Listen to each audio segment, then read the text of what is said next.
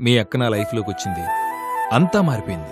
అంతే బావా. ఆడవాళ్ళు మన లైఫ్లోకి వస్తే సంతోషం మొత్తం కోల్పోతాం. వాళ్ళ గొప్పతనం ఏంటో తెలుసా? మన ఇష్టాల్లో మనం మాత్రమే ఉంటాం. కానీ ఆడవాళ్ళ ఇష్టాల్లో మనం కూడా ఉంటాం.